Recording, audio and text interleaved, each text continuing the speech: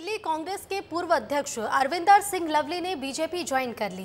बीते 28 अप्रैल को लवली ने कांग्रेस का साथ छोड़ दिया था और पार्टी आलाकमान से अपनी नाराज़गी भी ज़ाहिर की थी। कांग्रेस छोड़ने के बाद लवली के बीजेपी में जाने की अटकलें तेज हो गई थी और हुआ भी कुछ ऐसा ही। बीते समय में कांग्रेस के किन बड़े नेताओं ने बीजेपी की सदस्यता ली, ये जानने के लिए देखिए हमारी एक खास रिपोर्ट।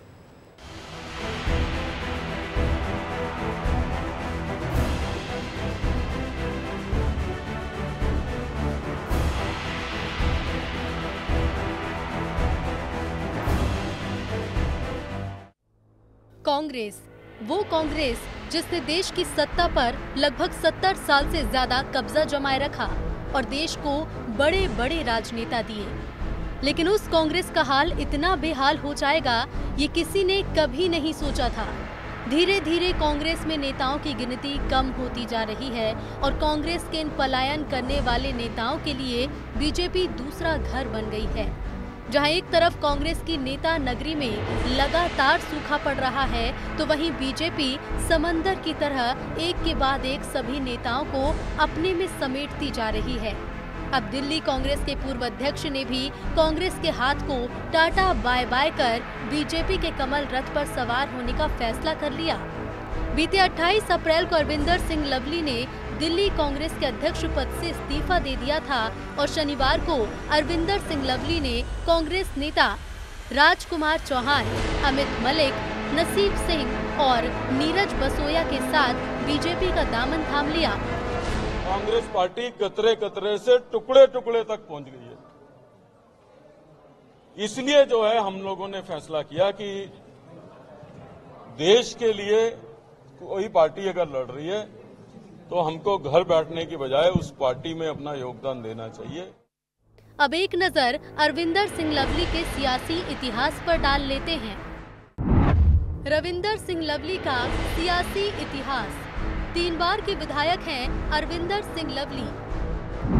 उन्नीस के दिल्ली विधानसभा चुनाव में पहली बार जीत दर्ज की। 2000 में प्रदूषण नियंत्रण समिति के महासचिव बने। शीला दीक्षित सरकार में रह चुके हैं मंत्री।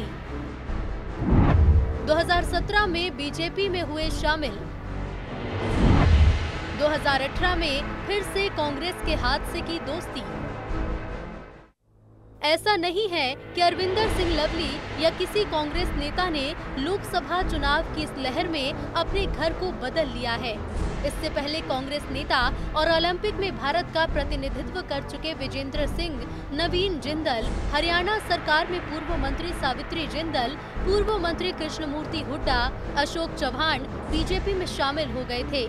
जिसके बाद बहुत से राज्यों में भी कांग्रेस के खेमे में लगातार सेंध लगाती आई और बीजेपी का कुनबा लगातार बढ़ता चला गया।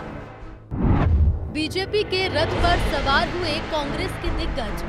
12 फरवरी को कमल के रंग में रंगे पूर्व मंत्री कृष्णमूर्ति हुड्डा। 13 फरवरी को पूर्व मुख्यमंत्री अशोक चौहान बीजेपी में हुए शामिल। 28 मार्च को नवीन जिंदल और सावित्री जिंदल ने थामा बीजेपी का दामन।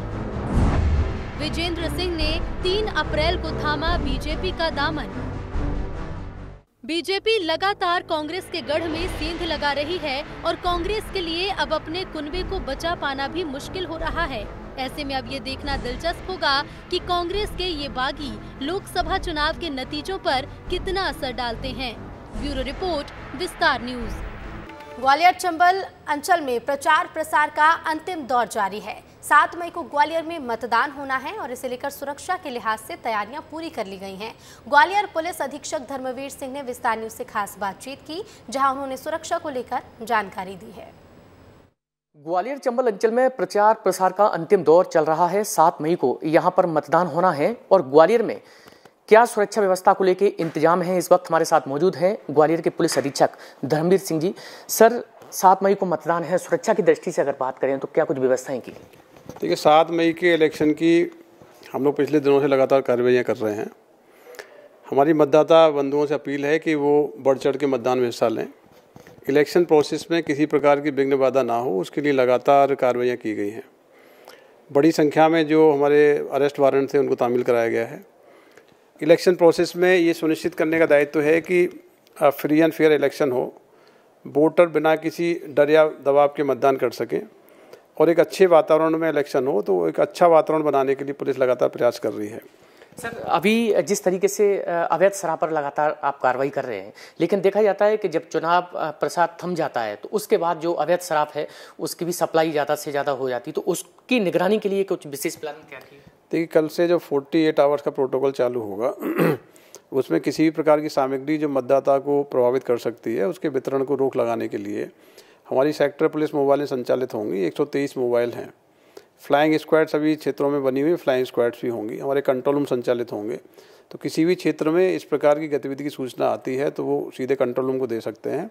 बिल्कुल तो हमारे साथ एसपी धर्मवीर सिंह थे और उनका साफ़ तौर पे यही कहना है कि जिस तरीके से चुनाव के दिन, चाहे वो अति संवेदनशील पोलिंग बूथ हो या फिर संवेदनशील उन पर एक्स्ट्रा पुलिस फोर्स लगाया गया है ताकि कोई सुरक्षा में चूक ना हो। कैमरामैन संजय चंदेल के साथ अनिल गौर बिस्ता न्यूज़।